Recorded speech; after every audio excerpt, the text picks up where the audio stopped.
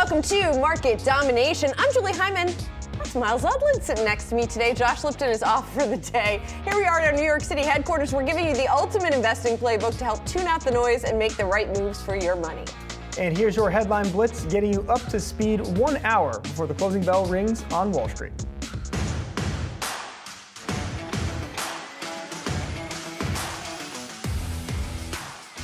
And as a bull, I'd rather much see the Fed cutting less because the economy is very strong than the Fed having to cut uh, because the economy is weakening. And I don't think it's really about when the Fed starts cutting. I think it's really about how. We think this is going to drive uh, the future value of Tesla when we look out five years. We think it'll be two thirds of the enterprise value in, in five years. So, so we're super excited about it. Can't wait for August. So let's call this the cyber taxi. It's going to be a disappointment. There's no way this is going to be as funny as the dancing robot uh, when Tesla you know, announced they were they were going to crush what Boston Dynamics has done. I am not a believer. It's one of the most phenomenal events that you get to see. I've seen a number myself, but basically, it just so happens that the moon is 400 times closer, but 400 times smaller. And so they happen to be the same size in the sky. We've got one hour to go until the market close, and let's take a look at the major averages here. Not much change. I should mention we have seen a drop in volume as the eclipse is occurring, at least here on the East Coast, as we see it track its path of totality. Last time I checked, the Dow was running about 10% below the 100 day average of volume. So definitely folks are paying attention to other things, some of them today. But we have the Dow, not much change right now, up about 37 points. The S&P 500 up about the same, a tenth of 1%. The NASDAQ up a little bit more, but not seeing much change at this point. What we continue to keep an eye on here is what's going on in the bond market as well. Yields continuing to trend higher here, up four basis points today on the 10-year. And if you look at a one-year chart of the 10-year, you'll see we were back to where we were kind of in mid to late November. So this is something that we are hearing more discussion discussion about, more attention being paid, even as we see uh, traders really pricing in fewer odds of fewer rate cuts this year. So it's interesting those things going on at the same time. Sector action today, we are seeing again not huge moves with the exception of consumer discretionary up about 1.1% today, and then we got healthcare falling a little bit today. Real estate and utilities also doing well in today's session. And Miles, what do you keep an eye on today? I mean, there's only one thing. I hope everyone's watching it right now, and I hope they're wearing the correct uh, protective lenses. I mean, we don't need, we are having this debate like all day. How dangerous is it to really look at it? I'm not going to offer any opinions on the air. I'm not a medical expert. But here we have, uh, courtesy of our friends at NASA, we have a feed of, I guess, this is the sun. It is dangerous. Uh, is it the sun or the moon? What are we looking at? We're looking at the moon in front of the sun. Moon in front of the sun. Right, but when exactly. you say I'm looking at the eclipse, would you say I'm looking at the sun? I'm looking at the moon.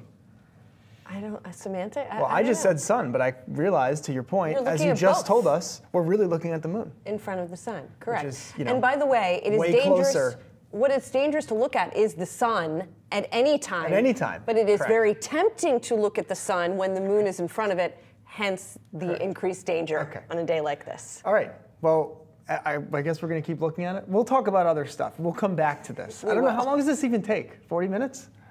Um, the whole the, the whole, whole thing, thing, of it something. It's like been going on for okay, my whole life. We've been looking at the sun. Okay, stocks flat to start the week. Investors caught between last week's jobs report and CPI and earnings starting this week. Tim Murray is capital market strategist in the multi-asset division at T. Rowe Price, and he joins us now. Tim, let's start by looking ahead to this week's inflation data. Jamie Dimon uh, warning today on the risks inflation is stickier than expected. That could keep rates elevated. Now, last year markets got pretty comfortable with the idea that inflation had a one-way ticket back to two percent percent How have you looked at this year's data, those January and February readings? Um, do they upset that idea as far as you see it? Yeah, I think they really do. I would agree with uh, what Jamie Dimon said. It looks sticky from here. Um, I think the important thing when you look at inflation prints is to understand the underlying components of inflation. So essentially, if you think about it, you've got services inflation and then you've got goods inflation when we were at 9%, you know, back in June of 2022, the contribution to that was 6% from goods inflation and 3% from services inflation. Now we are at 3% inflation And all of that is services inflation. We had goods go from a 6% contrib- contribution to nothing. And I mean, what that tells you is that it's all about services from here. And I can tell you that all that improvement from goods, that was supply chains normalizing.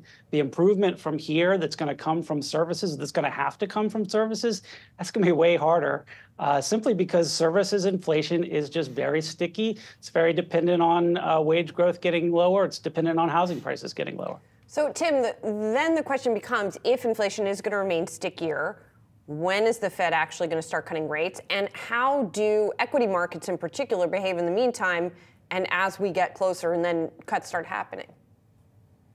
Yeah, it's a really good question. The Fed, you know, the Fed would like to be cutting. You know, they've told us as much. They would like to be cutting, but they just need some evidence that um, that inflation is going to be continuing to come down. Hey, maybe we do get some some uh, surprises there over the next couple of months. Um, we had negative surprises in, in January and February. We could have positive surprises uh, over the next couple of months.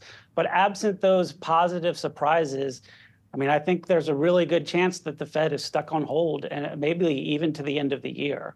Uh, and, and so, what does that mean for stock prices?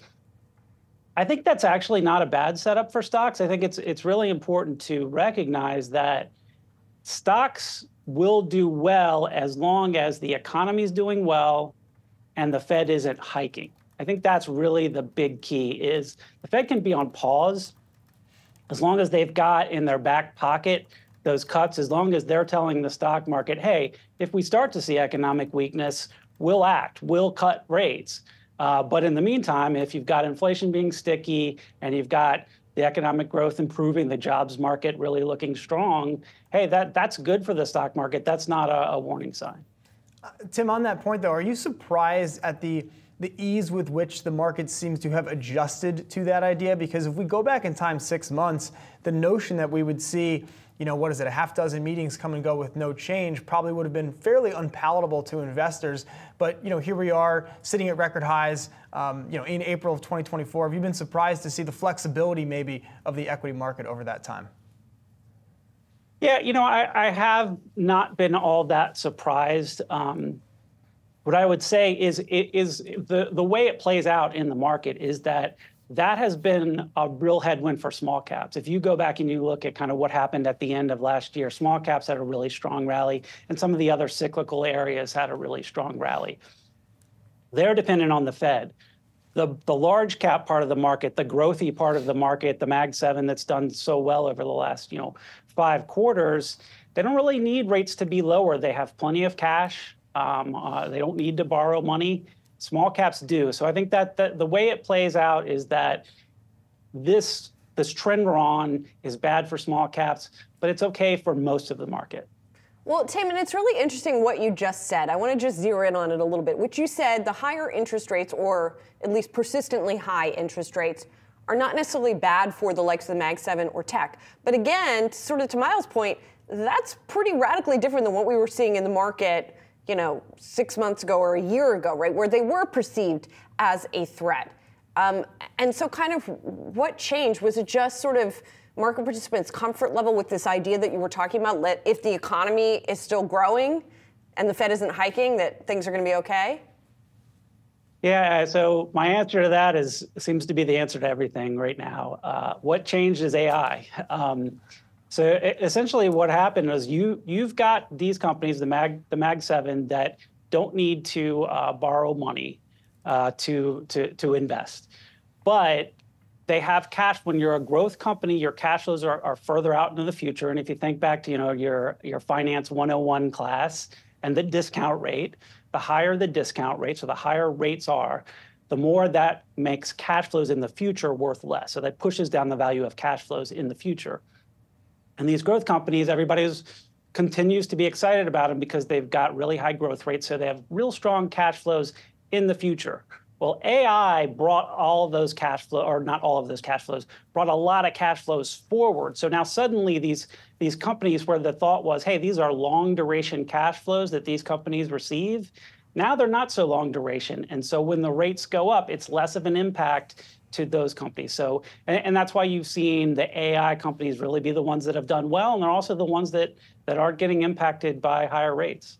So then, Tim, you know, obviously, right in this um, area, we're talking about concentration risk generally with the market. You've seen the mega caps dominate. How have you talked uh, folks through that question, which you know inevitably you've gotten over the last several months here?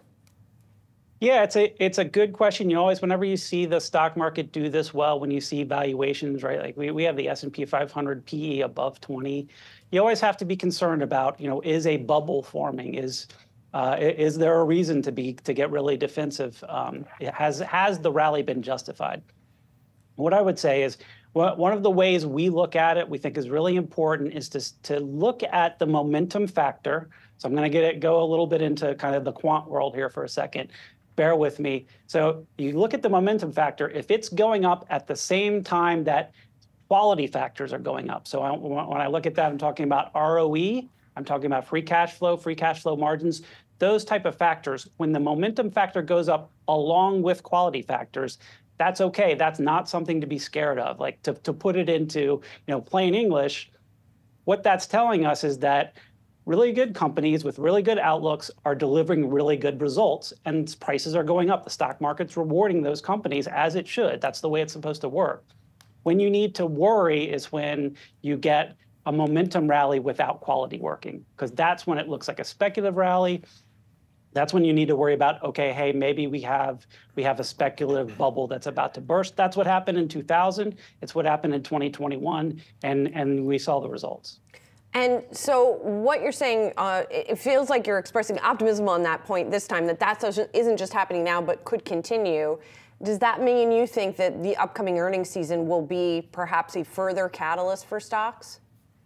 Yeah, I, I, think that is absolutely true. I think certainly right now when valuations are, are as high as they are, it's hard for stocks to go up really, uh, you know, a lot because you don't have an earnings report telling you, hey, look how good the outlook is, look how good the results are. So yeah, I think in this type of environment, as long as we're having the economy accelerate, AI get pulled forward, big companies having to spend on AI to defend uh, important monopolies that they have, that's going to mean when earnings season comes around, we get reminded of just how powerful these trends are. When you don't have earnings season, it tends to be uh, you know a situation where investors start looking at those valuations and saying, "Boy, those are a little high. Uh, is this really? Is it has it gotten too far?" Well, earnings season's coming around again next week, so we will keep an eye out. Tim, thank you so much. Really appreciate it. Yeah, my pleasure. Thanks for having me. We're just getting started here on market domination. Coming up, shares of MicroStrategy is surging today alongside Bitcoin on the back of a price target raise from Benchmark. We'll speak to the analyst behind the call on the other side. Plus, Tesla riding higher after Elon Musk said the company will unveil its robo-taxi on August 8th. We'll break down the latest and what this means for the EV maker later in the hour. And we'll continue to check in on the path of totality as New York City prepares for the peak of the solar eclipse. Stick around, much more when market domination returns.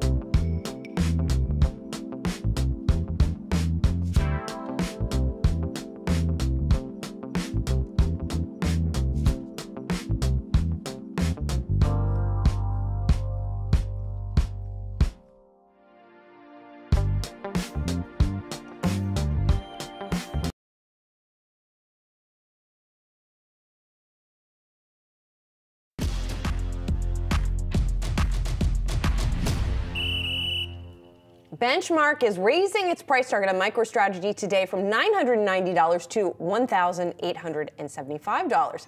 The analyst noting the Bitcoin rally as the halving draws near. For more, we've got the author of that note. That is Mark Palmer, Benchmark Managing Director and Senior Research Analyst of FinTech and Digital Assets. Good to see you, Mark, as always.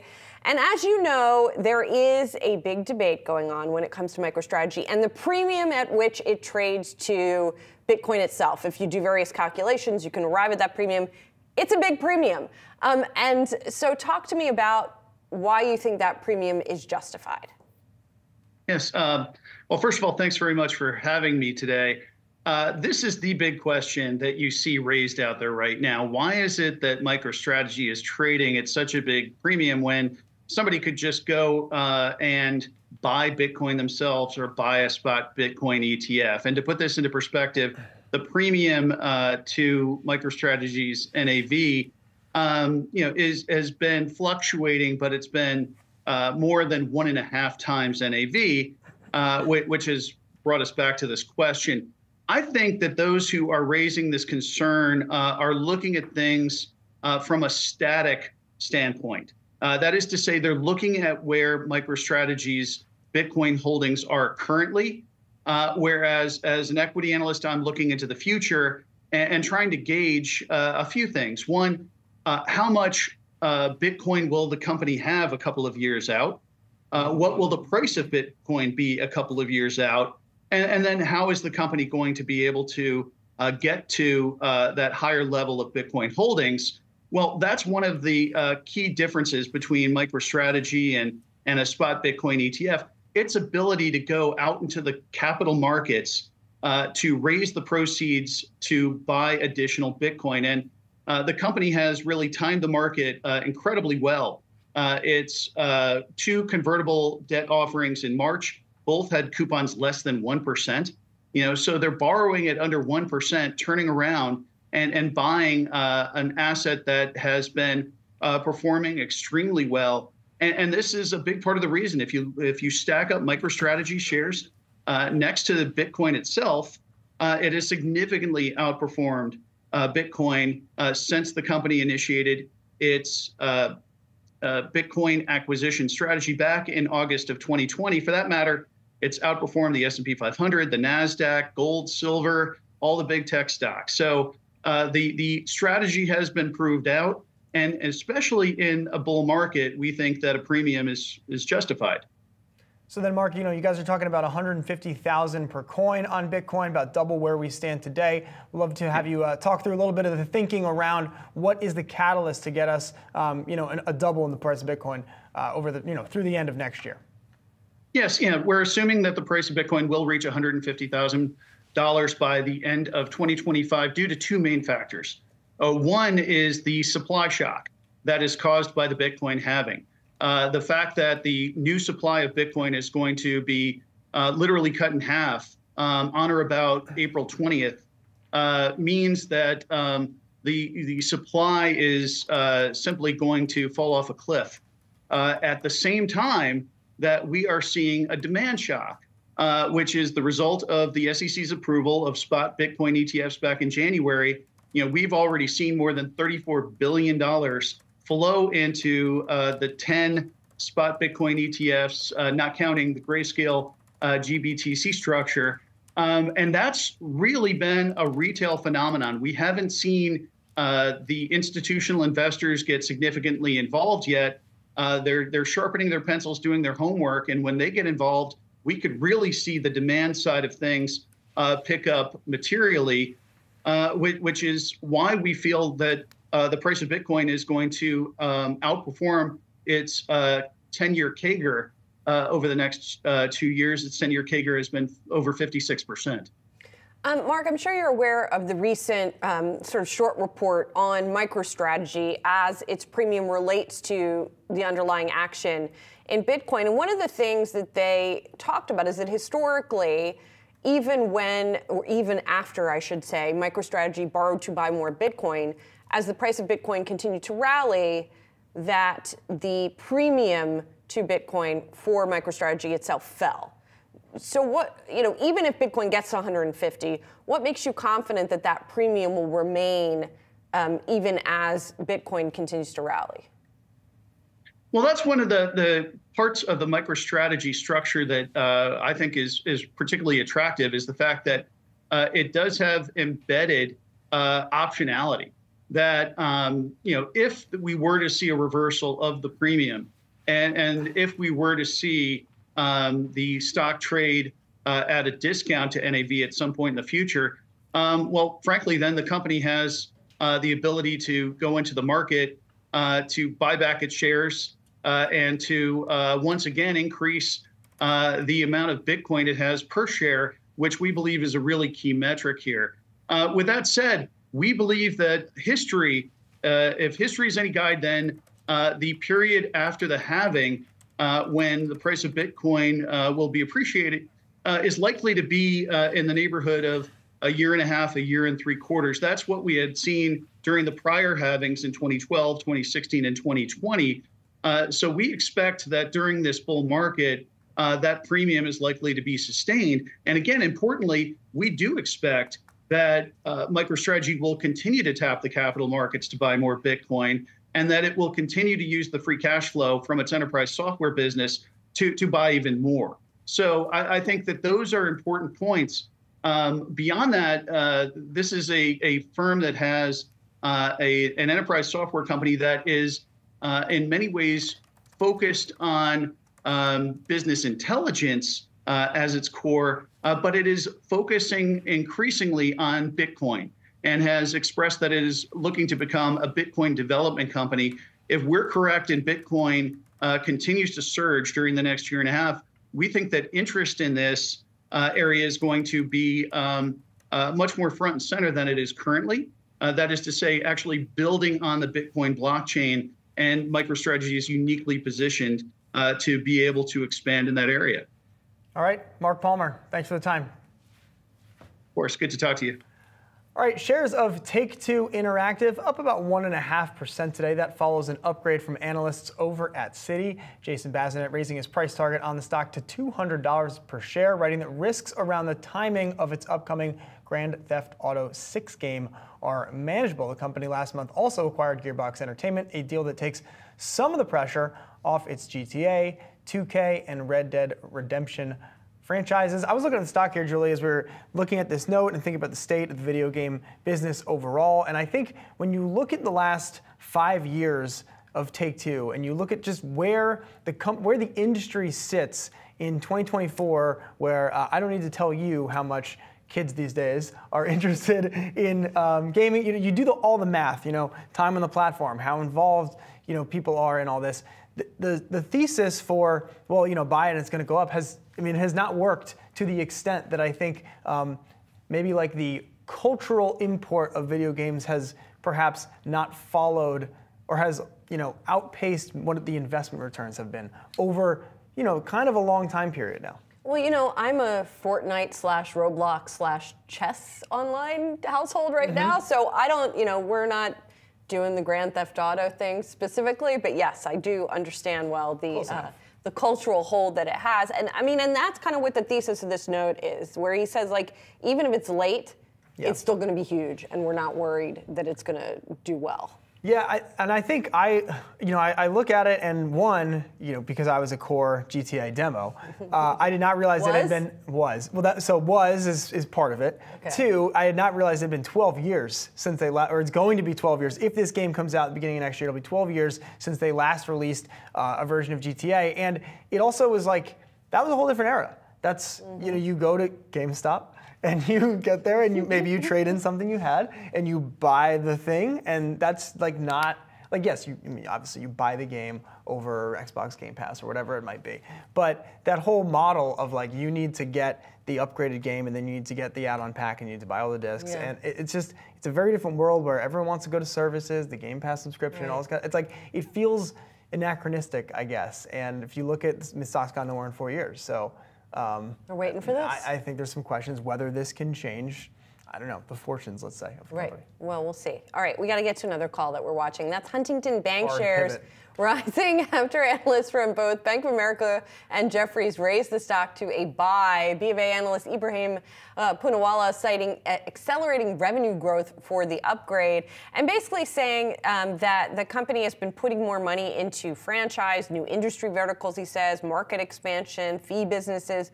Also, that they are growing their auto uh, inventory financing, which I thought was interesting. And the other thing I thought was interesting is that, you know, we keep talking about what's going to happen if the Fed pushes back interest rate cuts. Yeah.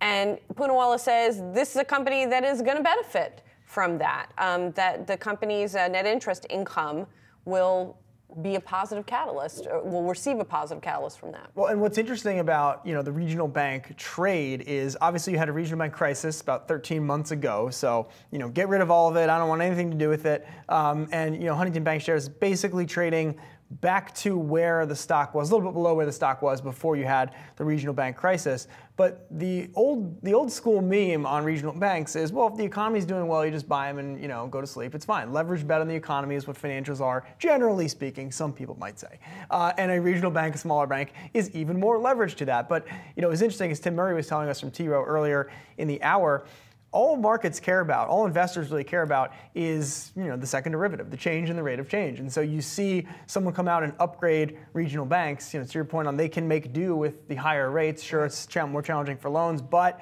you can kind of get something with the money you have on hand. And so long as you are not ending ending up in a position where you're surprised by where rates go, if they go mm-hmm. lower next, not higher next um, I, I, mean, I'm, we're not really having that conversation, but maybe we will one day. Uh, these banks can all, everyone can kind of make do, right? You know, uh, and whether it's a bank or any kind of corporate, you can figure it out if you know that rates won't at least go higher.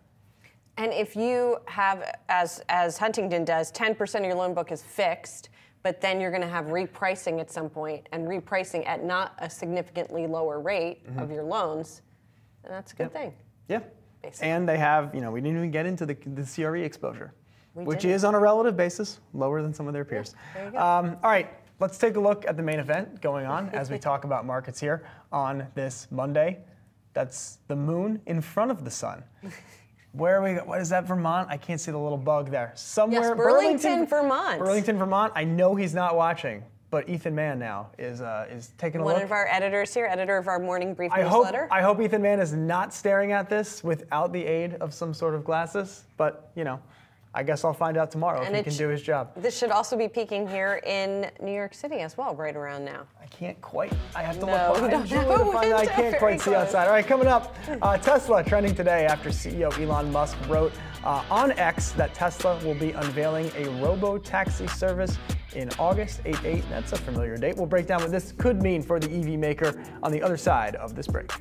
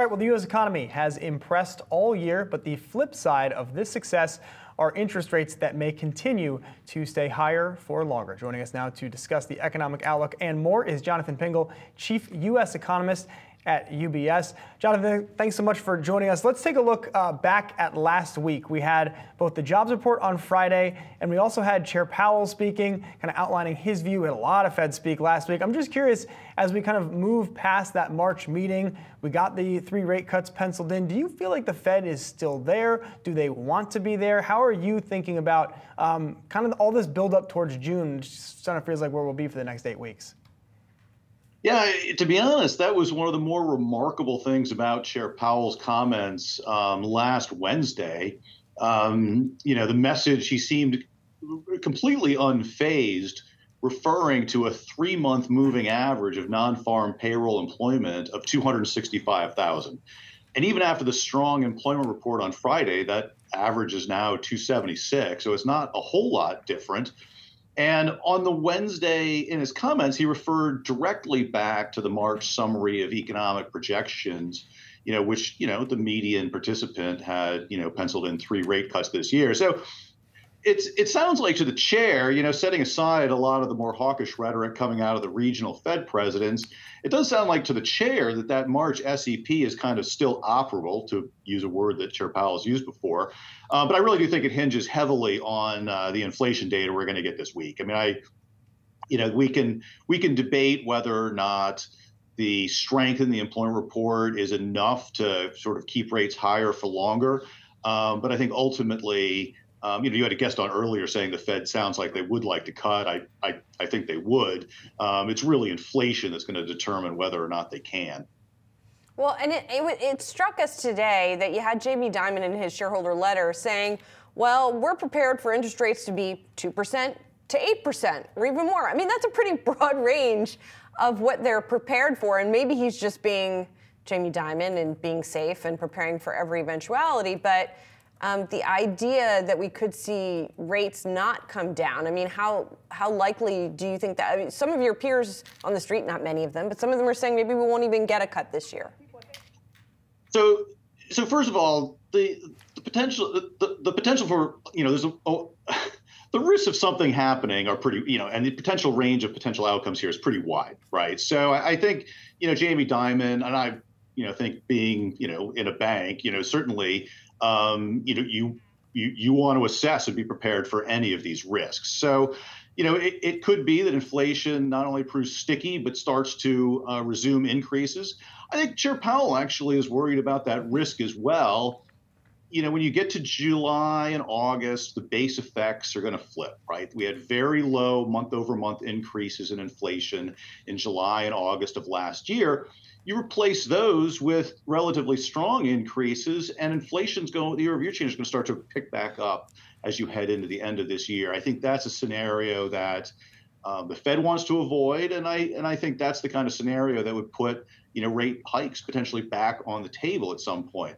I don't think that's the near-term risk here. I think the risk right now is you know base effects are going their way. We are expecting a step down in the CPI uh, to be reported um, on Wednesday, you know, we'll get the full run of PPI, CPI to look at the March PCE inflation data. I think that's really also going to tell us a lot about, you know, are we going to sort of stall at around two and a half percent inflation, or, or, or, is this likely to continue uh, moving lower? I mean, I think we're going to learn a lot, not just in, you know, the over the month change in March, but when we look at the components, um, it'll give us, I think, a much better sense of the go forward. And, and, you know, on that point about base effects, about the components going forward, I'm wondering, in your view, do you think the Fed has, I don't know, maybe levered themselves too much to housing in the sense that we have not really seen that index come down to the extent the Fed would like? It's been a very much well, you know, rates rates need to rent, rents need to, to feed through, six month lag, all this kind of stuff. But we are still looking at, you know, 40% of the CPI is running almost 6% year over year. And at that point in the future, when maybe they get it towards 2%, to your point, you're now going to have a large part of the basket rolling off any of those easy comps. So is the Fed maybe going to be stuck at this two and a half in a way it has not yet allowed itself to publicly admit? Well, I I think you've kind of hit one of the nails on the head. I mean, that's a great question and it's a great point. And I think, you know, Chair Powell was asked in the last press conference about their general expectation that owner's equivalent rent and tenants rent, you know, the biggest chunk of the CPI, you know, would those rent increases continue to slow, which is what's been implied by what we're seeing in the marketplace. When we look at, you know, new leases being signed, there are a range of different indicators, what we're hearing from the REITs, you know, rent growth in the market you know, we can, there are some exceptions to that, but the rent growth broadly nationwide has slowed quite a bit and back to what looks like a pre COVID pace or even below. It has not yet really fed into the CPI. Now, we are looking to see some evidence of that um, in the report on Wednesday. And if you do see a slowdown, you know, so it, you know, it was, you know, roughly 45 basis points in the February report. You know, if you're starting to see something where it's in the low 40s, in the March report on Wednesday, you know, that could be a sign that, you know, we are going to start to see further follow through from the slowdown and what's happening in the marketplace into what's being measured uh, in the CPI.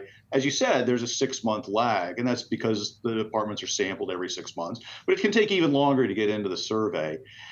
There's another reason that's really important, though. I mean, it is part of the Fed's expectation that inflation slows further, that they see that rent. So I think Chair Powell, you know, one of the things he'd like to gain more confidence in when he thinks about when to begin dialing back restrictiveness is, you know, seeing some evidence that reinstills this confidence that those rent components are going to slow. Now, those rent components are also a big part of the gap between inflation in the CPI and inflation in the Fed's preferred measure, PCE prices. And one of the reasons I think the Fed is willing to look through that wedge at the moment is in part because if rents do slow, that wedge will narrow quite considerably over the course of the next year. And I think they would like to see, you know, some confirmation, you know, sort of for these two reasons. One is part of their expected slowing. Two, it makes their communications easier. You know, I really do think that they want to see, uh, you know, slower uh, gains in the month-over-month changes in in the tenant's rent and the owner's equivalent rent components of the CPI. Well, we're going to start to get some of that data on Wednesday, as you said, so we'll be watching it closely. Thanks, Jonathan. Appreciate it. Thank you. Time now for the day's trending tickers as we approach the closing bell on Wall Street. And we start with Tesla charging up in today's mm. trade. The move coming after CEO Elon Musk wrote in a post on X announcing the company will be unveiling a robo-taxi on August 8th. Joining us here to discuss is Yahoo Finance's Pras Subramanian.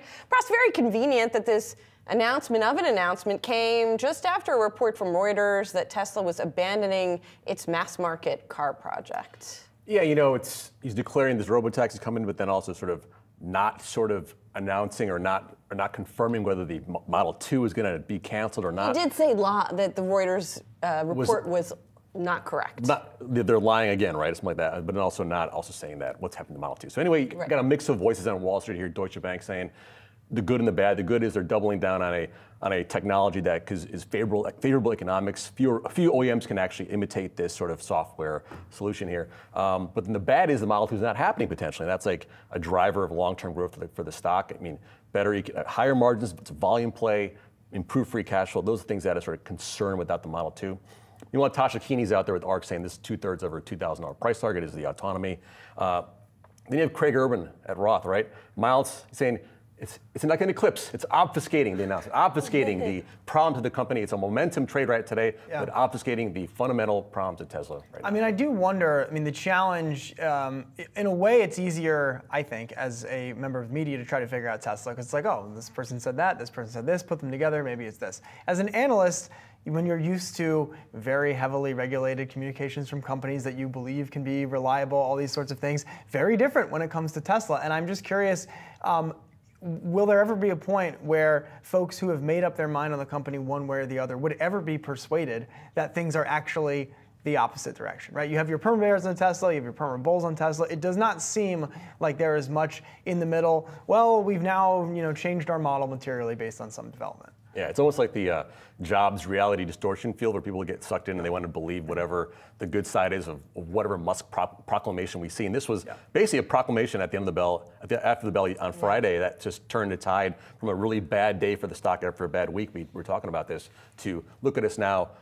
Wait till August, we're going to see this robo taxi, no pedals, no wheels. But then on the flip side is, well, where's the Model 2? That's supposed to be a huge yeah. growth driver. So I, I, you, you, can see both sides. Well, and the other reminder is unveiling a new product and actually making the product well, and bringing it to market are yeah. two very different things, especially when it comes to Tesla. Look at the gap between announcing the Cybertruck and coming out with the Cybertruck. Look at the promises of full self-driving and what it actually does. I mean, we've seen this movie before. Yeah, I mean, those regulatory hurdles aside, a lot of analysts are talking about, can we see something?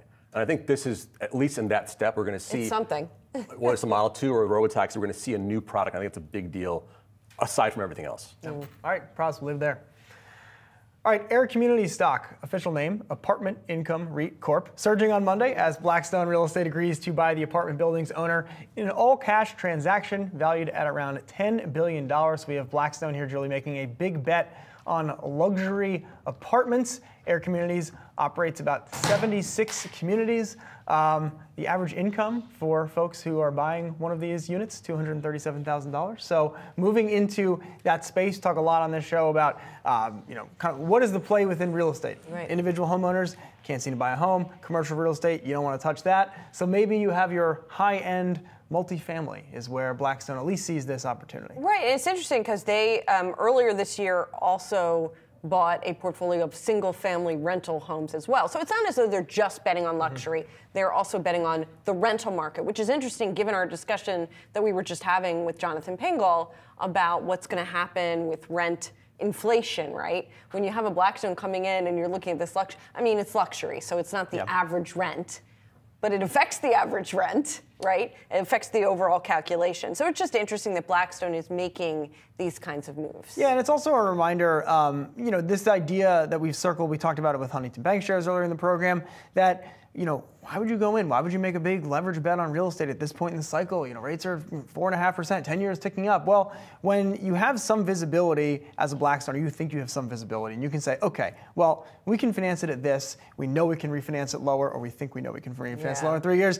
You make your peace with it, you give it a shot, and to your point, this is not the average home buyer. Right, exactly. It's in urban areas too, which I thought yes. was also interesting given yes. the conventional wisdom about You can split your time. I could. Are sports gambling stocks worth betting on? We'll discuss in our investor playbook. More market domination coming up.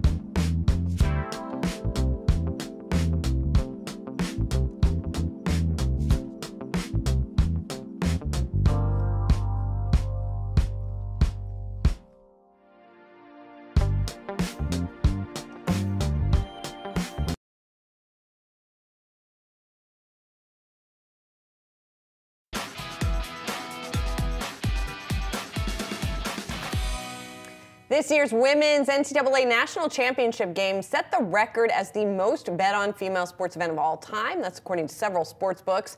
As the sports wagering industry continues to grow, which names are best positioned? We're looking at how to navigate the big picture with the Yahoo Finance Playbook. Joining us now, Jed Kelly, Oppenheimer Managing Director uh, of Equity Research, and Bernie McTernan, and Needham and Company's managing director as well. Guys, thanks so much for being here. I, I want to talk big picture first of all, because yes, we hear about these big events that spur a lot of activity.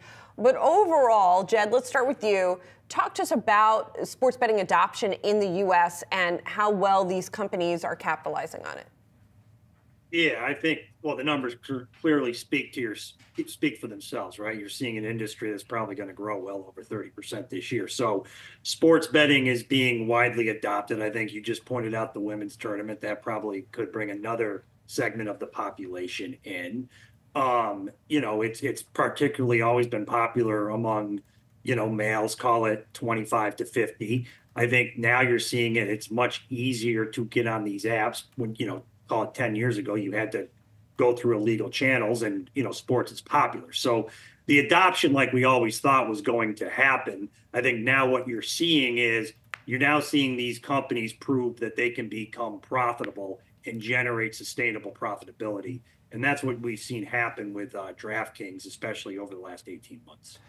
And Bernie, in thinking about um, the thesis, you know, for these companies um, on adoption across the country, not every state uh, sports betting is legal yet. How much does that play in at this point? Are there states where you make your peace with it? Maybe it will never happen, um, but you know, we focus on engagement in this, that, the other state. How do you think about that part of the story? Because obviously, go back in time, three, four years, that was kind of the whole thing. Yeah, no, it's it's a really interesting point. And it's certainly something that we see the potential for greater. You know, right now, though half the country has access to online sports betting, it's much lower for iGaming, only 11% of the country. Um, over time, we think it's going to continue to happen. And I think it's what Jed was talking about earlier, too. When you start talking about the convergence of sports betting and sports media, it's becoming more mainstream. The cat's out of the bag. And this is something that consumers want to be able to do. Um, so we think that over time, it certainly can happen. Um, again, you know, it whether it's referendum or whatever it may be, it may take a number of years. Um, but there's only about 10% of the country where where daily fantasy was explicitly not allowed, and so that's what we view as the upper end of the potential here for for online sports betting. And then iGaming reg- legislation just has been slower, but as states um, you know need more money over time, we think that's another avenue for them to explore to to generate those funds. And Jed, um, why has there been such a, a, differentiation in how some of these stocks have traded? Is it because if I look at something like a DraftKings, it's pure play, you know, online betting, whereas if I look at some of the legacy players, they still have their bricks and mortar operations? Yeah, that's exactly what it is. It's, you know, your brick and mortars, right? They're, you know, lease casino, like there's casinos with big leases where the, the internet, where DraftKings and FanDuel are pure play internet companies that are using the internet to get scaled advantages. And what you've seen is you've seen as most as the states outside Nevada have legalized sports betting, DraftKings and FanDuel continue to consolidate market share. And you know they're they're essentially judged on different different parameters, right? I think you have MGM, Caesar shareholders where, where they're like, we don't need you to be 25% of the overall market, right? This is a nice, nice add on where DraftKings and FanDuel you know, they need to have over 30% market share to work. And you're seeing it now in the products, right? If you just look at the state handle, look at the state share, their their products are now better than any of the land-based guys, and, and, and that's what you're seeing. And you know, Bernie, we talked at the top about the engagement that we saw around the women's Final Four, the women's championship game that happened yesterday. As you think about that dynamic, is that about bringing more bettors onto these platforms, or is it about giving existing bettors more liquidity essentially in the market. There's now a whole series of events that folks were not looking at. Um, you know, now, now, they are. I don't know how much, uh, let's say the, the rise of something like F1 plays into this. Just is it about like how does that go for the for the platforms in thinking about perhaps women's basketball ascending as you know maybe the fifth or sixth most popular sport in the U.S. from its current standpoint? Yeah, um, I think it just speaks to you have to give you know give the people what they want, and to be able to to bet on sports, whatever sport that may be. Um, and at the end of the day, that you know that's how we view online sports betting. And and we always get the question because there's a big been a big shift for online sports betting operators really pushing parlay mix and driving their hold higher. And the question is, well, at what point are they going to be bleed their bleeding their uh, clients dry? But really, we're not seeing that yet. It's because sports bettors want to be able to bet on more things. It's really an entertainment budget that they're focused on. So as um, you know, new sports gain in popularity. You know, Netflix drops a new documentary about golf. You have the Masters coming up this weekend. Um, you know, that, that's really the opportunity where there's, again, like I mentioned before, that convergence with sports betting and sports media. This is really an entertainment budget that that we're focused on. Um, and so it's great when someone like Caitlin Clark uh, pops up, uh, even though it's more than pop up. She's doing, doing great for four years, but um, you know, gives it gives people uh, the opportunity to to further you know engage with sports and engage with media through sports betting. Um, and you guys both have DraftKings as an outperforming. In fact, you like a lot of the coverage area. But Jed, I want to zero in with one name with you that you like in particular, and that's Genius Sports, which is not one that I was super familiar with, but it's more of a data provider, if I've got that right. Why do you like that one? Yeah, we like Genius Sports for three reasons. One, we think if you want to play sports betting under a $5 billion market cap, Genius Sports or Sportradar, the data providers, are going to be your best option Number two, because they are a data provider, the sports books can't take the technology in house. And they have, you know, exclusive relationships with their two key leagues, the NFL and the EPL out till 2028, 2029. So you have good financial predictability. And then third, they, you know, all the financial metrics are turning positive this year. They're inflecting to positive free cash flow. EBITDA is going to grow 40%. So we, we, we like the data providers here. If you're looking for, uh, you know, areas under 5 billion that are not going to be impacted by the consolidation that you're seeing Flutter and, and DraftKings do. All right, Jed, Bernie, thank you both. We like the Huskies laying the points tonight. Thanks for stopping by. Sports books don't. well, as an alum, as an alum, I've been riding it all tournament, right. and uh, I'm on the right side of that. All right, well, we're wrapping up uh, today's market domination. Of course, we'll take a look at the solar eclipse. Also coming to an end here. It's timed up very nicely with the closing bell on Wall Street. We've got that coming up in a couple minutes here. Markets doing a whole lot of not much. Dow and S&P in the red, Nasdaq in green figures.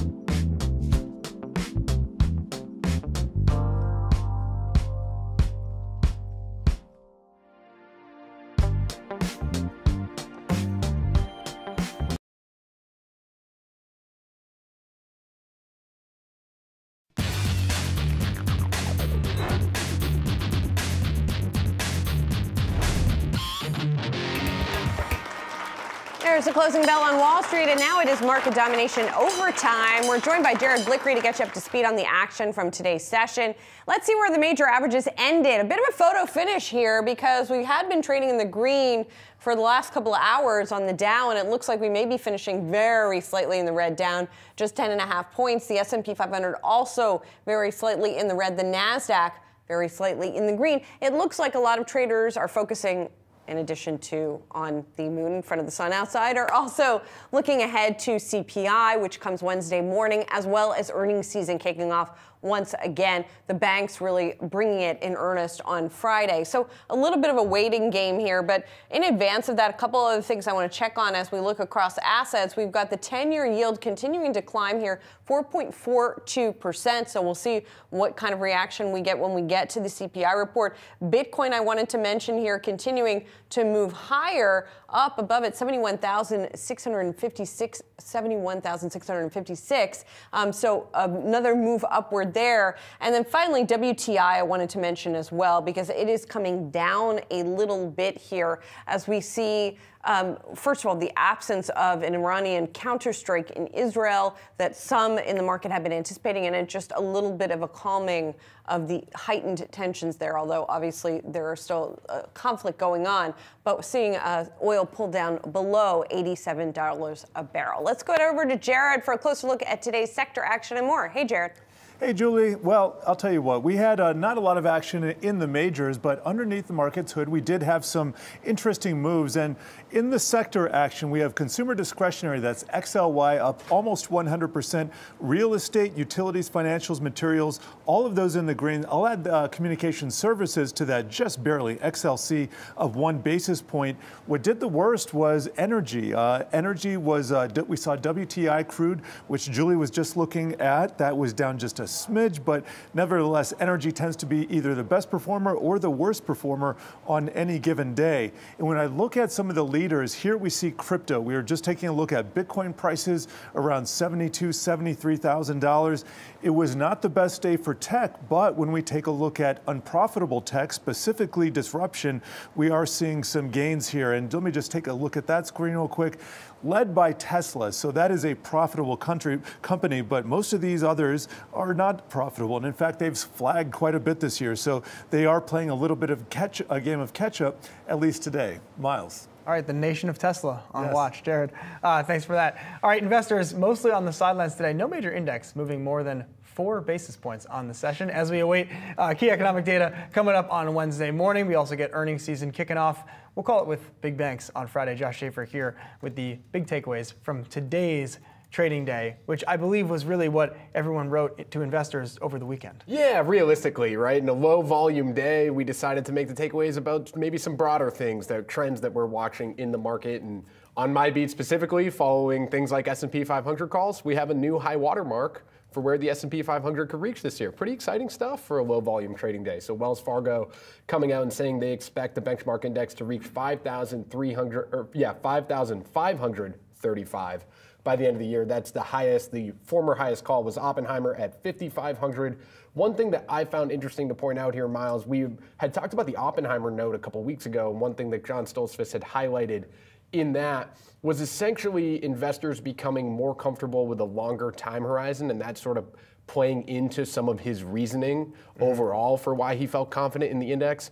And Chris Harvey over at Wells Fargo mentioned something similar here yeah. and essentially said he thinks investors are becoming perhaps a little bit more comfortable with a higher valuation and also a longer time horizon, which would overall mean the index going higher. Yeah, and I think it also, you know, that note zeroed in on this idea of you know, Julie, the market rally, this current bull market, whatever we want to call this, mm-hmm. it all started like Jan of 2023. That was the moment when everyone said, okay, everything's different now, and you know, we can do. Dan Howley will give us a great you know history one day of all of ChatGPT and all these developments. and um, I think when you know Satya went to a conference in Paris in February and said search is on the table, that was a huge moment too. Um, but really, it's like this flip to your point, Josh, in investors' mm-hmm. mind of, all right, I, I, can worry, I can now go into a meeting comfortably and say, we are looking at a you know three-year time horizon or six months. Like the pain of 2022 was able to be ameliorated, let's say, mm-hmm. by just looking further out in the future. Yeah, well, and it's it's the secular bull market, and it's also the secular AI growth story, right? That's what Wells Fargo called it, and it's you want to stay involved in that game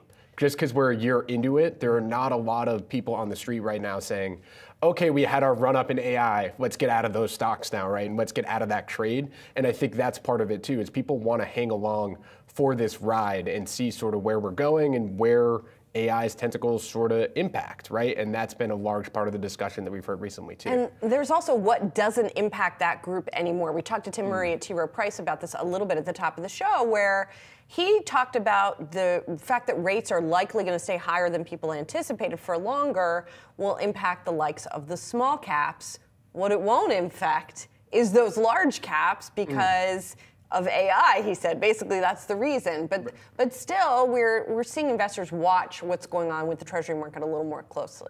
Oh, definitely, yeah. And that was something that Wells Fargo highlighted in this note as well. One of the key risks would be if we see the 10 year at 5%. Julie, you just noted a few minutes ago, we closed at about 4.43%. Pretty significant move in the last month. But Harvey was saying if we see the 10 year at 5% for, say, six months, that's when we're going to start to get really concerned about this bull thesis. And uh, Mike Wilson over at Morgan Stanley has been highlighting this recently too. He circled 4.35% on the 10 year. So we're above that now. And he mentioned in his note on Sunday, he said, well, look what happened when we got past that mark that I pointed out. All of a sudden, everyone cared about the Treasury market again, and you saw the correlation from stocks and bonds come back to negative more significantly than it had been in the last couple months. And that sort of spins us forward to the CPI print on Wednesday, right? And you're wondering what happens with the 10 year if we keep ticking higher. Does that start to weigh on stocks more? And then quickly, last thing, volume was down today because everybody was watching the Volume eclipse. was down because everyone was watching the eclipse. I went through, I used our Yahoo Finance market data, which I recommend everyone go out there and do to track your trading volume. guy. Look at this guy. And Come on. the S&P 500, it was the lowest volume we've had in at least, I saw November most likely, if not more than a year. I was tracking through it. So maybe people stepped away from their desk and actually had a little bit of fun today. So we were the stiffs who sat in here and, you know, we're grinding it out. There were people who went the work. out on the team who went outside. We didn't lock everyone in the office. No, but I'm saying, you know, Just us, us. personally, this group here at the table I specifically. went, I went out and looked for a minute. You missed out on a the big two of thing. us then. Fine, we don't need him. Just the two of us. Just me and Julie. Thanks, Josh. Well, while the street high for the S&P 500 is now at 55.53, our next guest says, "Hold my beer." He is looking at an even higher uh, target for the S&P 500 this year, 5750. Joining us now is Infrastructure Capital Advisors CEO Jay Hatfield. And indeed, in a recent note, you talked about 5750. AI is part of it, and the Fed outlook is part of it. So, so talk us, talk to us how, about how you got there. Thanks, Julie. Well, it, it does relate to the conversation we are just having. We're assuming the 10 year goes to three and a quarter. Ah. so if it doesn't, then the theoretical value of the S&P is way below our target. Mm-hmm. So we can't accept, it's not going to work if Jamie Dimon's right and we have 8% treasuries. But we are bullish, notwithstanding the fact that our economy is strong, because Europe is very weak. And US investors have a very strong tendency to ignore the rest of the world, which makes all the sense in the world with equities, because you have NVIDIA, all the, the best companies are here, and everybody looks to the US for equities. but with bonds, that, they're very fungible.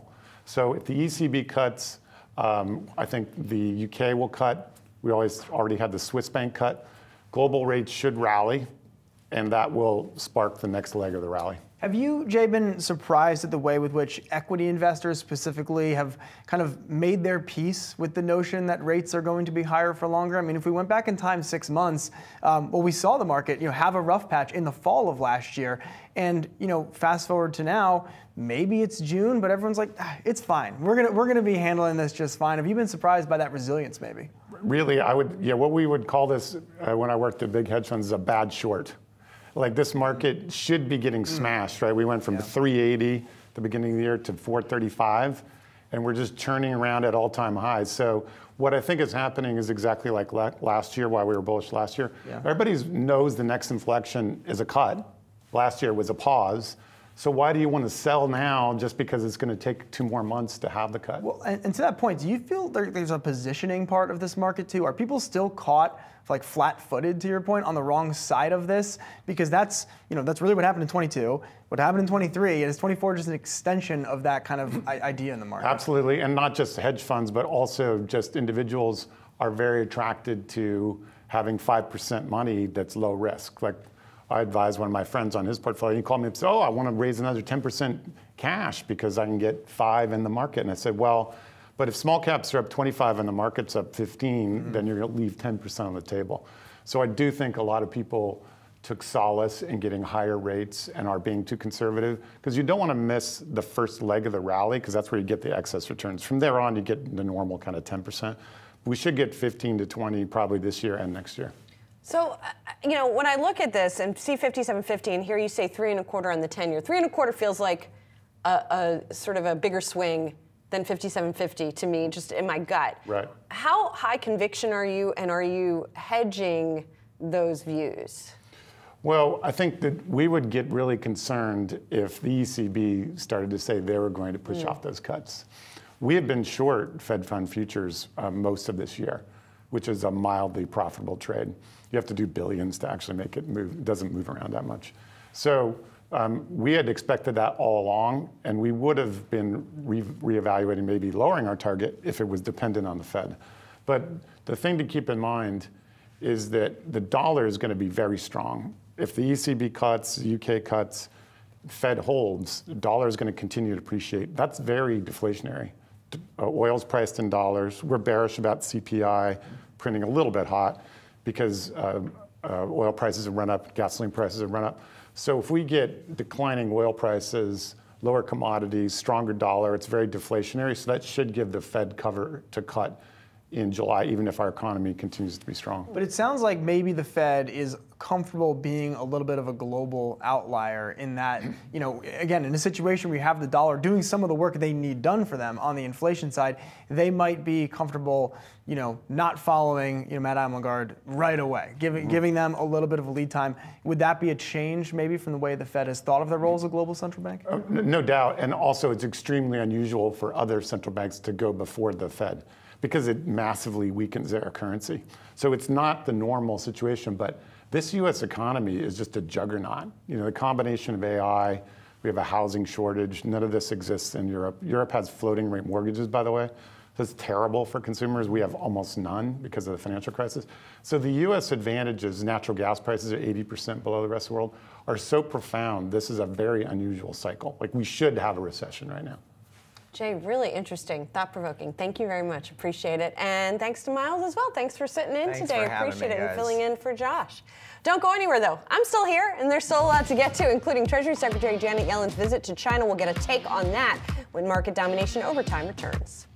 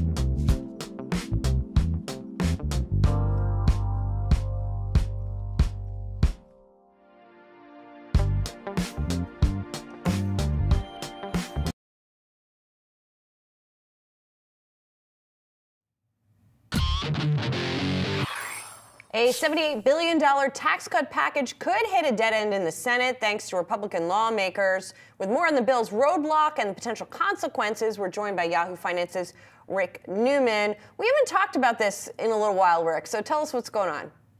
Well, this passed the House in uh, January, and it was a rare moment of bipartisanship in what, uh, what otherwise seemed a very dysfunctional Congress. Uh, this was a tax, $78 billion worth of tax cuts that passed the House with both Republican and Democratic votes. But uh, it was known at the time, much tougher road in the Senate. And now the, this bill seems to be basically grinding down in the Senate. We've got some Republicans saying, uh, no, they don't like the Democratic tax cuts in this. Uh, and then behind the scenes, uh, there are some Republicans who just don't want to give President Biden a legislative victory um, while he's campaigning for reelection. So what's really happening? Democrats are are ready to move this bill in the Senate, but it's really Republicans who are standing the way of a tax cut bill. And there are some tax cuts for businesses here, and the business lobby says um, these tax cuts for businesses are actually essential. It things it's things like speeding up the research and development tax credit stuff that is supposed to juice innovation and investment at the corporate level. Um, it seems likely this thing is not going to pass this year. I mean, it, it is hard to get anything done the closer you get to elections. And uh, Republicans seem to be gambling that they'll be able to get a better tax cut deal after the 2024 uh, elections in November, which implies that they think they have a good chance of at least winning more control of government than they have now. I'm not sure they're right about that. But at this point, I think we'd be surprised if uh, this uh, tax cut gets passed. Well, and Rick, so I have a two part question then, uh, sort of to follow on that. One, how is them blocking this going to play in the election? And two, what about the Trump tax cuts that are set to expire? Yep, very, very important points, Julie. So, how this plays in the 2024 uh, campaign, I think, is up to uh, if Republicans do end up blocking this tax cut. I think it's up to how well President Biden and his uh, fellow Democrats, how well they play it. Uh, I mean, um, the the roadmap some analysts are pointing to here is Harry Truman in 1948. He was polling terribly uh, at this point prior to the election, perhaps even a little bit worse than Joe Biden is doing, and he ran against the Republican do nothing Congress, and it worked for him. Can Biden pull that off? I kind of have my doubts. Biden has not turned out to be a great communicator, and we know from other analysis uh, a lot of what Biden said just says just goes over voters' heads. They don't even they don't even know what he's accomplished or, or what he's out on the campaign trail saying. And then when you mention those uh, the 2017 tax cuts, the individual tax cuts from that deal expire at the end of 25, and I think that is the moment everybody with big plans for any kind of tax cut or tax hike for that matter everybody is looking ahead to that. Those end at the end of 25. Congress has to do something. So, so when that happens, that is going to be the triggering mechanism for the next big tax bill. And what that tax bill is depends on number one, who wins the White House, and number two, who wins control of Congress. So TBD, obviously. Rick, thanks very much for walking us through all of this. Appreciate it. Treasury Secretary Janet Yellen visiting China for discussions about the U.S. and China's economic relationship.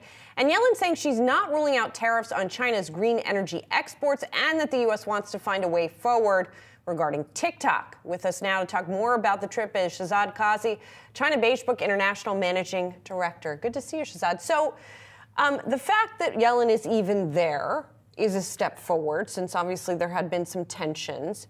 But what do you think has come or will still come out of this trip that is going to represent more progress than just her being there? Yeah, you know, I think first of all, I don't think if the administration wanted to send a very serious message uh, to their Chinese counterparts about overcapacity and China dumping its cheap products abroad, uh, Secretary Yellen was the right person to send. The right person to send probably would actually have been the U.S. Trade Representative Katherine Tai, who has a very serious agenda on all of these subjects. Uh, Secretary Yellen is widely regarded as a dove. I don't think that the Chinese government and the Communist Party take any warnings coming from her very, very seriously.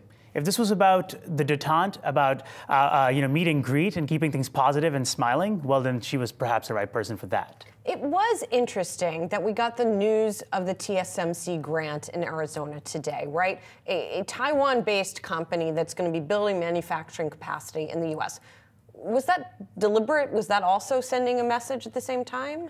Well, you know, not so much probably, but the fact is that the administration is running into some trouble with its larger industrial policy that has to be accepted. Uh, I think there are lots of things that can probably be done better. As we know, TSMC has decided to delay some of its planned productions and so forth. I think, if anything, the Communist Party looks at it and says, look, you can't really compete with us as much as you think or you claim that you can. Interesting. Okay, so when you hear um, the secretary talking about, you know, not ruling out certain types of export controls, how seriously are we to take that, or do you listen to someone like Katherine Tai in in, in contrast? Yeah, I think you know the administration will have to sooner or later do something about this. No matter who's president in 2025, that administration will have to do something about this. Uh, solar products, EVs, uh, so on and so forth, because I think Chinese overcapacity, dumping its cheap products abroad, et cetera, threatening industries in, Euro- in Europe and in America, of course, is a very real threat.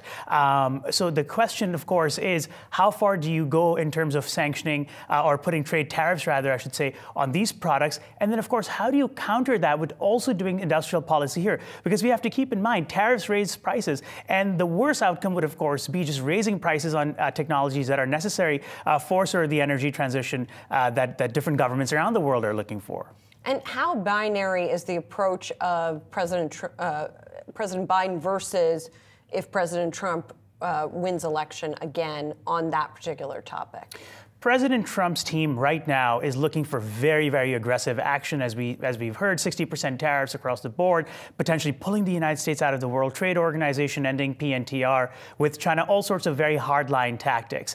On the Biden spectrum, I think there's a lot more continuity from the Trump tariff days without starting any new investigations. We know that the USTR has been sidelined without putting on any new tariffs and going piecemeal on the export control piece. The Trump side would be far more revisionist, I think, in its second round than it was even in its first round, and they really shook things up the first time around. And to take a step back for a moment as well, what's your current assessment of the Chinese economy and therefore the strength or lack thereof that they have in any kinds of negotiations because of that?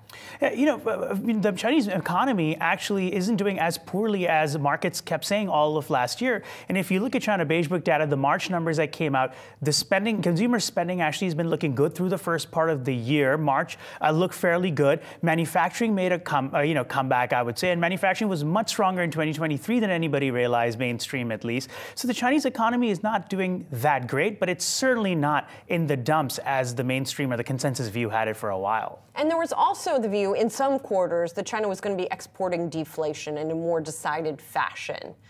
If you look at just at our CPI numbers, that hasn't come to pass. But are we seeing that in certain segments? Um, it can happen. It can happen if, if this continued uh, a policy of relying on manufacturing to sort of you know buoy growth or drive the economy forward continues, and we find more and more Chinese products finding their way abroad at very cheap prices. It could certainly happen, but you're right. We haven't really seen it en masse yet. The China disinflation thesis is very overplayed domestically for sure. There's no evidence of Chinese disinflation really at home. All right, Shehzad, interesting stuff. Thank you so much for coming in. Appreciate it. Thank you.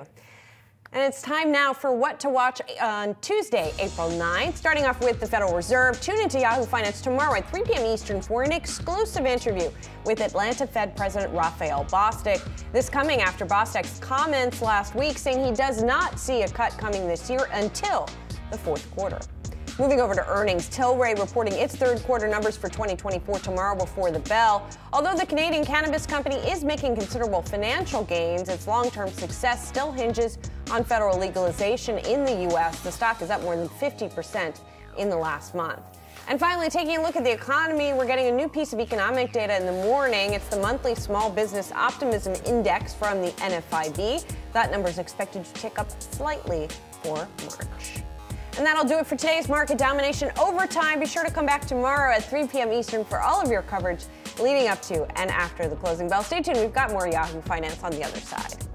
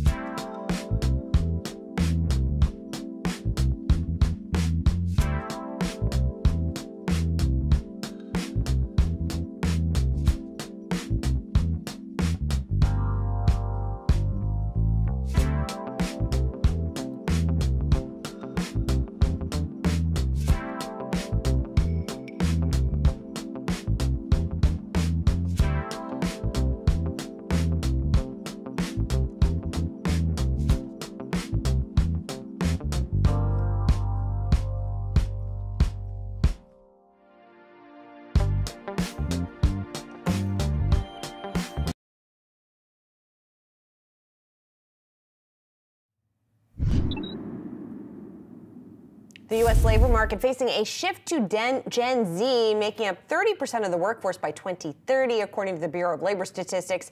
And as Gen Z gains ground in a workforce facing the rise of the gig economy, professional development platform How to College is looking to democratize.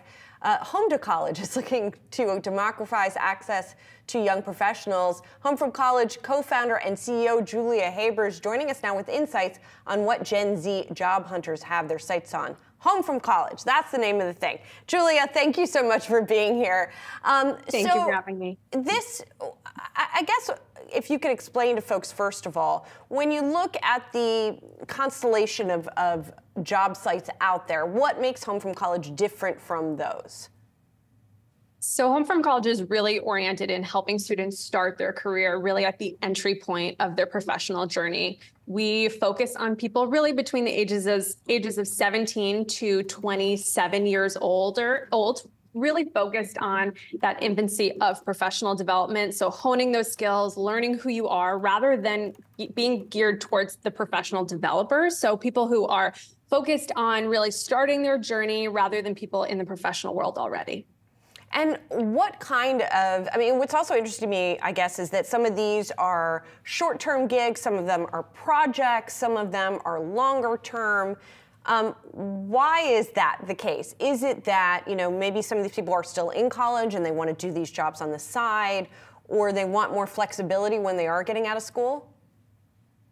We've learned that 80% of Gen Z are graduating without internships, meaning that they are entering the workforce without any really clear sense of who they are, what they're good at, or what experiences they should apply for full time. We saw a huge opportunity to be a place for students to test and learn what they like by doing. So the gig economy is here for Gen Z, and we know that 70% of Gen Z even plan on having a side hustle post grad. So, really being focused on giving them the tools to try things, to learn who they are. And many of these roles range from product testing, focus groups, Gen Z advisory panels. So, low lift skills that allow them to make money, learn who they are, and then ultimately make good decisions when they're ready to pursue something full time. Julia, I don't know if you know the answer to this from your research, but why aren't internships happening? Uh, you know, I thought that was sort of a given and part of you know what the college uh, employment office help, or counseling office helps folks do and it's just sort of part of a given. Is it something that has changed over time? Are they not getting the support so I think ultimately the goal is for everyone to get an internship. There are over 25 million students in the US and access to opportunities is not always even. So ultimately the goal is for everyone to get professional experiences and I know the schools are trying their very best, but when schools have over 60,000 students in them, there are only few career service professionals who have the ability to help. And we learned that the flexibility of giving people a chance to try little projects is ultimately more beneficial because you learn quickly what you like and don't like. So our goal is to really help you learn about what you like to do, who you are, um, make money by doing it. And then ultimately, if you can get an internship, amazing. We have roles like that as well on the platform. But the goal is to give everyone a chance no matter the access you come from. You know, we're showing some of the most popular um, jobs that folks are applying to or gigs that people are applying to.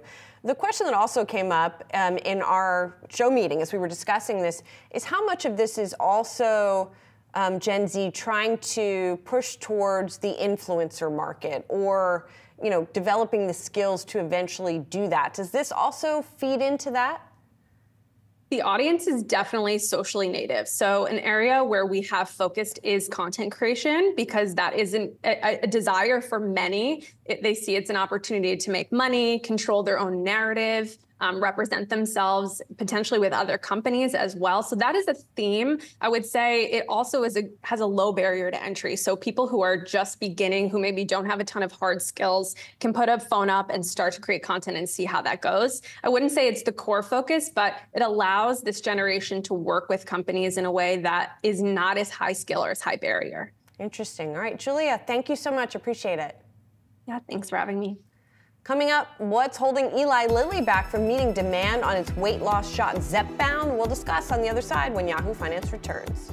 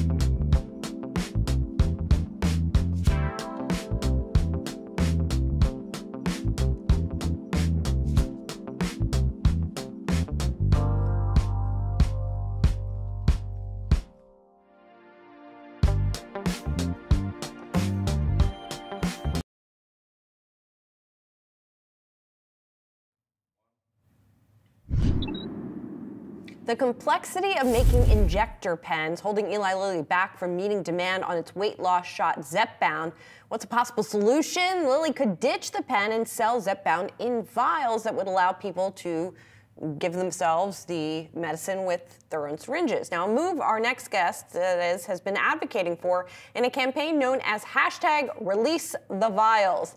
Dave Knapp, host of On the Pen Live, joining us now to discuss, along with Yahoo Finance's Anjali Khemlani. So, Dave, first of all, um, I'm so curious how you came to this, right? Because you do have um, a, a blogcast, a vodcast that you do where you talk about this issue. But how did you? I know you started using the product. Just tell us your story. Yeah, absolutely. So I was diagnosed with type 2 diabetes at a pretty young age. Uh, 2021 in the fall, I received my diagnosis. And I tried a lot of things in that year to sort of get my blood sugars down, to help get my weight under control, all those things that help uh, to control your diabetes. Uh, after a year of white knuckling it, uh, my doctor uh, introduced the idea of bariatric surgery. And because I did not have coverage for bariatric surgery at the time, he pushed me to these uh, new class of medications called GLP 1 or incretin mimetic therapies. And that's where I learned about Mounjaro. And basically, the way that he couched it at that time was these medicines are actually doing hormonally for people what bariatric surgery does. So we've now found medical ways to accomplish what bariatric surgery can accomplish. And so in the course of my investigating the medicine and trying to learn everything I could about what these medications could possibly do, what I found from content on the web was typically more uh, vlog, a day in the life of, or here's how I lost 100 pounds with, at the time, Ozempic was the big one, right? And what I found was from the patient and layperson perspective, there was very little out there in the way of information about these medications. It was all pretty brand new. And so, really, what I sought out to do the day that I was prescribed Mounjaro was uh, to just start making content about everything I could learn about these medications so that those who would come behind me, and I knew based upon my quick research, that there would be millions and millions of people to come behind me. Uh, and so to just kind of lay the groundwork for people to know how to get started and then it's sort of evolved into just staying on top of everything news wise because there have been so many issues about accessibility to the medication. Uh, Dave, I'd love to know, you know, you are talking about all the issues that patients face. You've also been pushing this program uh, for the patients to gain access. I wonder, too, in addition to the product itself, the pens, I know that there is also generally a shortage uh, because of the way that these companies have been looking at manufacturing, as well as even some pharmacies, especially the smaller ones, not having access because of reimbursement. So it seems like a multi-pronged issue that is causing the shortage. Aside from the vials, have you had any luck with alternative sources or, you know, there's also compounding, for example, uh, with access to that that in a safe way?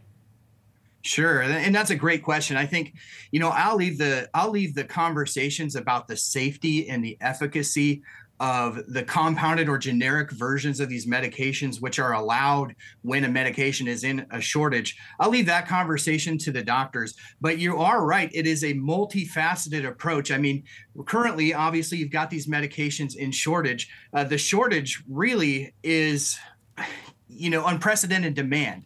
And I think Eli Lilly did a good job. They had they had sort of a forerunner in Novo Nordisk's uh, blockbusters Ozempic and Wegovy to sort of show what uh, what the maybe acceptance rate would be on the insurance side as far as the addition of the medications to the formulary. So they had sort of a forerunner, and sometimes being the second person to the party, there's a little advantage. But even though they had that, and even though you've seen them announce major investments in the United States in manufacturing. There's the news, obviously, today about the groundbreaking over in Germany for the ex US markets.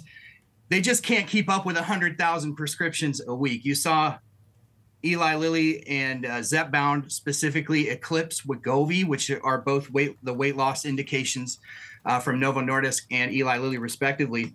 You saw Zepbound Eclipse Wegovy for the first time in new prescriptions just a week ago, and there's just no way they can keep up with that when you consider the complexity of the pens and the manufacturing of these very, very difficult. Uh, in Dave Ricks, CEO of Eli Lilly's own words, some of the most complex things to manufacture in the country. So, just quickly, Dave, have you been unable to get the medication you need? And either you or people you've heard from, you know, we keep hearing you got once you're on this stuff, you got to keep taking it. What happens if you do miss a dose? Sure. So I think it's important to separate the conversation between diabetic patients and patients taking for obesity simply because uh, they're different medications. So the Mounjaro uh, medication has been on and off the FDA shortage list for the last year or, or year or more. Uh, Zepbound has not been added to that list until very recently. Uh, I myself have had to step back and dose. And, and, you know, as a diabetic, the upper doses of these medications are really where the magic happens for a lot of people, not only from a, a glucose control, but for those who have type 2 diabetes that are also taking it, hopefully, to lose a little bit of weight. So I myself have had to step back in doses.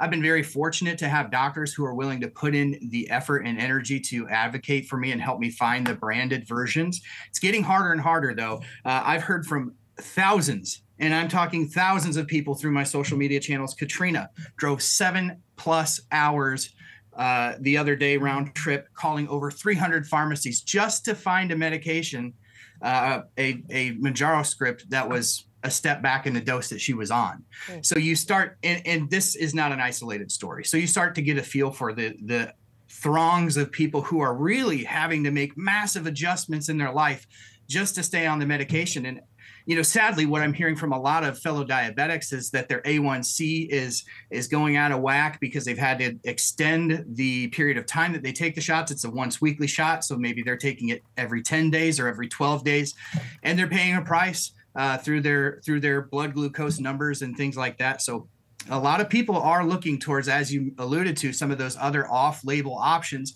which again, I'll leave the conversation about the safety and efficacy to the experts on that. But uh, there are questions, right? Yeah, most definitely. Well, Dave, keep us posted. Of course, we'll be talking to the companies too to see if they make any changes. Really appreciate your time. And thanks to Anjali as well. Thank you for having me. That'll do it for today's Yahoo Finance Live. Be sure to come back tomorrow at 3 p.m. Eastern for all of your coverage leading up to and after the closing bell. Yahoo Finance's Wealth is your guide, your group of advisors, planners, and jargon busters to help you save, build, and grow your money. How do I know if I'm saving enough for retirement? How do I know if it's right for me to go on that lavish vacation? Is it finally time to refinance my mortgage? How do I pay less in taxes? We'll get you the answers you need. Wealth, earning it, growing it, and managing it. It's more than tracking just the latest market moves. It's more than your favorite trending tickers. One does not simply build wealth without considering the entire financial landscape. It takes a community, and we've built one for you. Wealth cuts through the noise to help guide your financial decisions so that your money works for you. Wealth on Yahoo Finance premieres March 25th.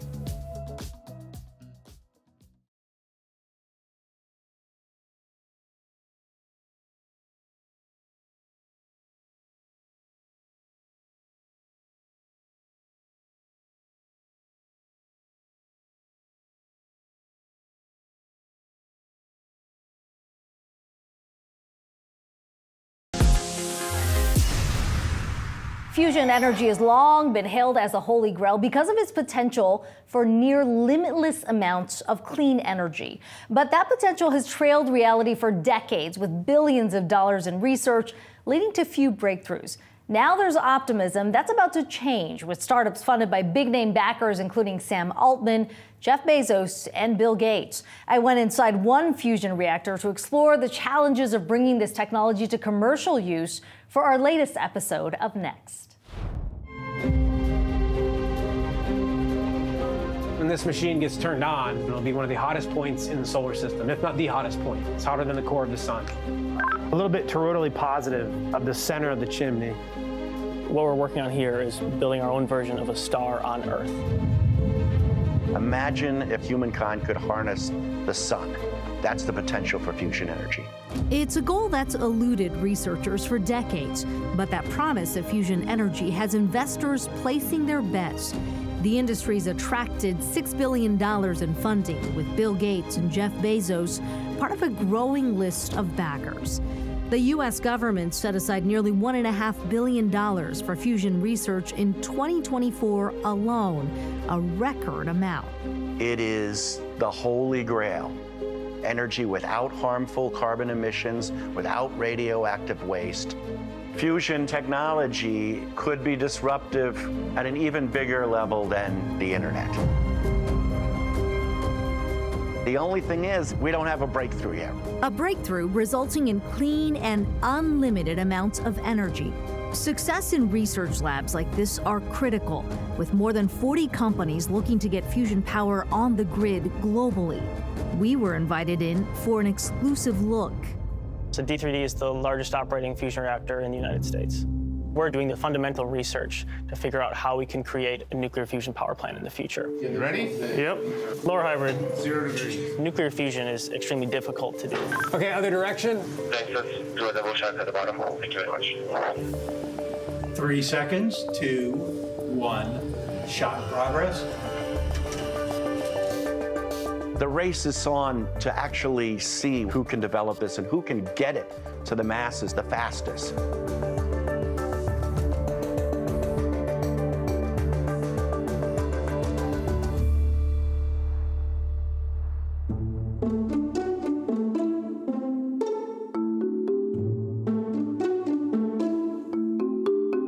When you go inside the machine, it's always a very interesting experience. Before you go in, the first thing you have to do is get suited up.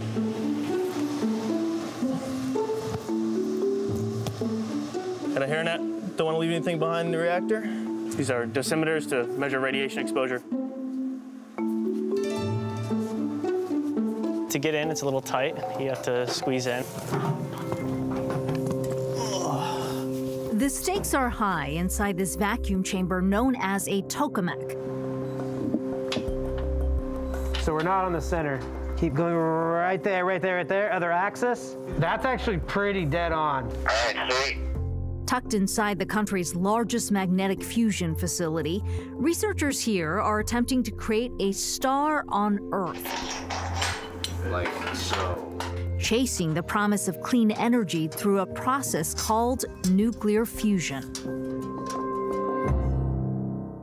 The word nuclear can be scary. There's definitely a lot of confusion between traditional nuclear power, so nuclear fission, which we currently have today, and nuclear fusion. Nuclear fission takes a very large atom, splits it apart, And the way fusion works is we're going to take two atoms and we're going to smash them together. and when they fuse, they convert some of their mass into energy.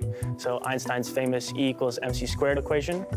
Nuclear fusion generally only happens in stars, where it's contained by the gravity of its own mass. Here on Earth, what we do is we use strong magnetic fields to create a container called a tokamak.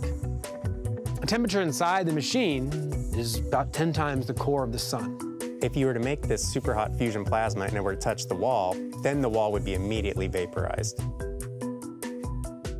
The idea behind the tokamak is that you're going to make a bottle out of magnetic field, so that way this super hot fusion plasma never touches the walls. We know how to do fusion, but we just can't do it efficiently enough to get more power out than what we put in. And that's the key to making fusion commercially viable, finding a way to generate more energy than scientists used to create that fusion reaction. Last week, scientists at the National Ignition Facility achieved fusion ignition. This is one of the most impressive scientific feats of the 21st century. Researchers at Lawrence Livermore National Laboratory achieved that energy gain two years ago, but that reaction lasted less than one billionth of a second, and it was done using lasers, unlike a tokamak, which uses magnets. When NIF, the National Ignition Facility, achieved ignition, they used very powerful lasers to create a reaction in a very small capsule. And that perhaps has difficulties scaling up, whereas what we do here, which is use very large-scale, powerful magnets, seems to have a clear path towards a nuclear power plant that could power your home. Those here at D3D are trying to unlock that same breakthrough using magnets with funding from the Department of Energy. That development could pave the path to commercialization. And this is where this very healthy university, U.S. national laboratory, and private industry partnership comes into play.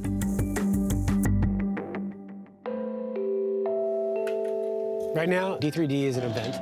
What that means is the machine is not operating on a daily basis. But what that means also is that we're upgrading a lot of systems.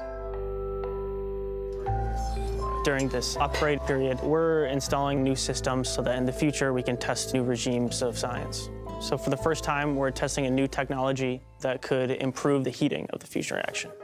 All right, you ready? Got the head. And I've got the tail. For the first time, we put these modules into the machine. That's one. One down, eight to go. This system will improve the stability of the plasma. The plasma fills this volume, and for fusion to happen, you need a hot, dense plasma. And this system helps increase temperature, it adds energy to the plasma, and improves stability so that we can have more fusion reactions occur. This is a system that could play a role in designing a future nuclear fusion power plant. The process of getting there is an expensive one. Billions of dollars just to build the reactors. So what we're gonna do is we'll take this out here, and then we'll slide this rod in here. But big name investors are lining up to fund the research because a potential breakthrough could transform industries. Just think limitless energy, no fossil fuels, no carbon emissions.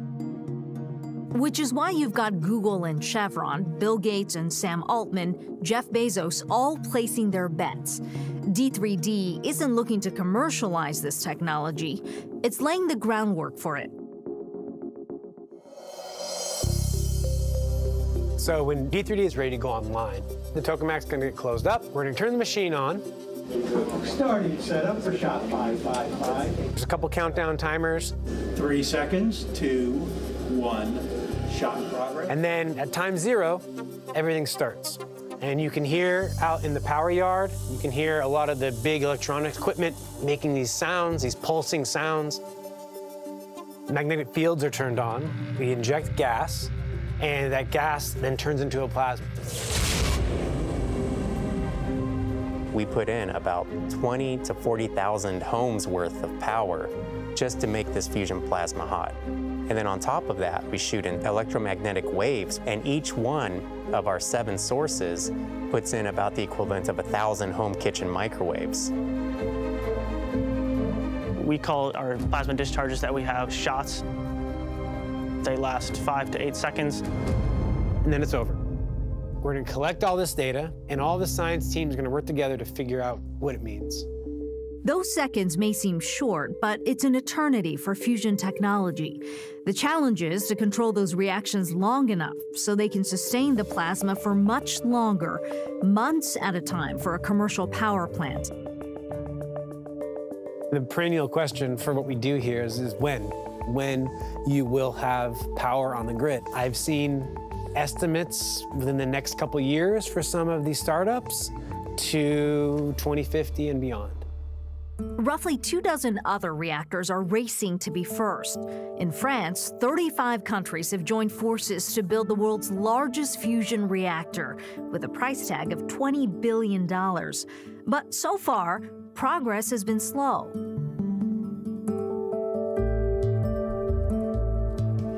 Yeah, so we have this guy's a reticle, that guy's a reticle, this way, right? And then you just adjust whatever you have to on this guy. As research labs like D3D aim to achieve new milestones for energy output, larger tokamaks under construction are looking to extend the length of fusion reactions. At Commonwealth Fusion Systems, an MIT spinoff backed by Google and Bill Gates, researchers hope to fire the first shot in their reactor later next year. ITER in France is expected to come online later this decade. With climate change looming, I think the desire for a technology like nuclear fusion is only going to grow. There's a lot more willingness to talk about unproven types of renewable energy like fusion because we're running out of options. And so you're seeing fusion research appear more and more at these global summits like COP28. Fusion may turn out to be just an enormous game changer. You're seeing politicians like John Kerry talk about it. You're seeing international groups of research come together with promises of funding from various governments.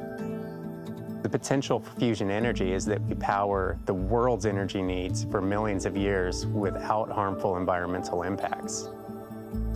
This is a long-term project that could save humanity. The existential question is, will it be ready in time?